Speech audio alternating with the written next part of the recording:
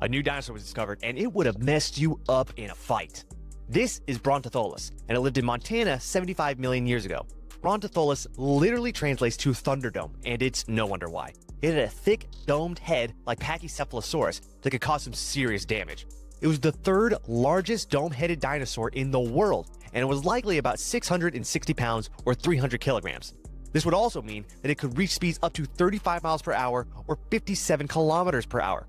Put that mass, speed, and dome head together with Newton's laws, and this guy could deliver roughly 5,400 pounds of pressure if it rammed into you.